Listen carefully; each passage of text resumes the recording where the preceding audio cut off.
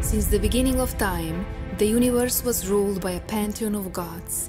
Peace and life flourished until one god fell prey to greed and ambition. Strogobor was corrupted by the most terrible darkness. He had discovered a way to use the fear of all creatures as a source of infinite power. Little by little, he turned his dreams into cruel nightmares. Hope gradually faded completely until, out of nowhere, a young man appeared destined to turn the tables. He was an apprentice of magic with a knack for overcoming the darkness of nightmares.